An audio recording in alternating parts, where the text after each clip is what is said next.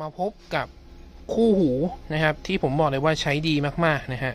คือ Liquid Moly Moly Gen Scooter นะครับ กับ Omega 909 นะครับ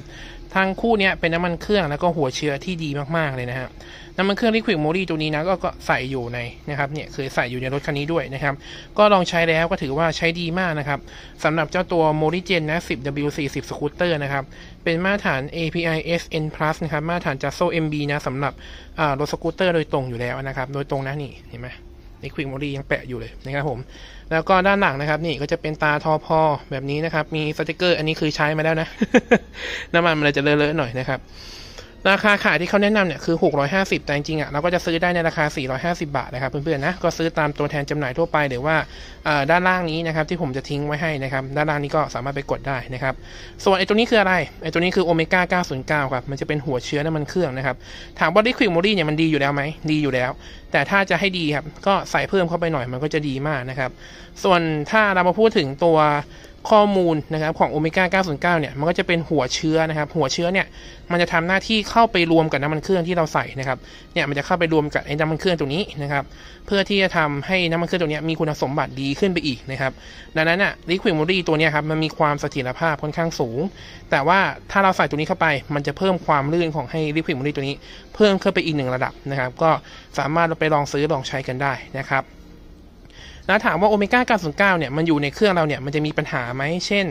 มีค่าวานนี้เกิดขึ้นไหม ผมบอกเลยว่าไม่นะครับ เพราะว่าจากที่ผมลองใช้มาเป็น 10 ปีนะครับ โอเมก้า909นี่ไม่ได้มีเพิ่งมีนะ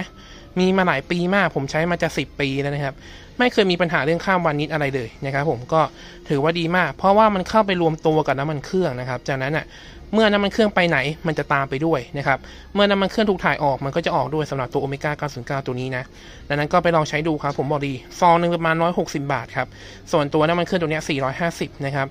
ก็ไปลองซื้อกันได้นะครับสำหรับสองตัวนี้นะ ส่วนสเปคชีตของเจ้า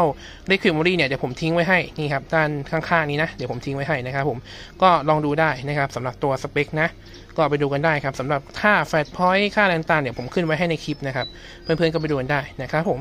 ก็ตามนี้เลยครับแล้วเดี๋ยวเรามาเจอกันในคลิปต่อไปนะครับ อันนี้ก็คือ Liqui Moly ที่ผมได้ลองใช้มาแล้ว มันก็โอเคอยู่นะ อายุการใช้งานเนี่ย มันเป็นประมาณ 4,000 กิโลนะครับ จากที่ผมลองใช้ดูนะ ประมาณ 4,000 กิโลเนี่ยพอแล้วนะครับ มันเป็นน้ำมันเครื่อง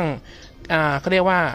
เกรดกรุ๊ปที่3นะครับเป็นเกรด hydrocrack นะที่มีสารตัวนี้เพิ่มเข้ามาครับ Molecular Friction Control นะครับนะตัวน้ำมันเครื่องเนี่ยมันเป็นสีเขียวนะครับเมื่อเอาแสง black light เนี่ยส่องเข้าไปเนี่ยนะครับมันจะเกิดการสะท้อนแสงแต่ว่าบอกก่อนนะว่า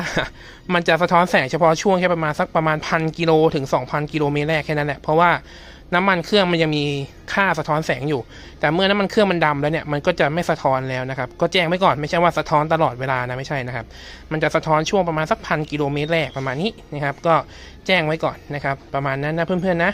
ก็ไปกดกันได้ครับซื้อได้นะครับ ผมบอกเลยว่าใช้ดีอยู่นะครับสำหรับชุดนี้นะ ถ้าใครใช้เคยใช้ชุดนี้แล้วจะเข้าใจครับว่ามันดีนะครับ ไปครับ เจอกัน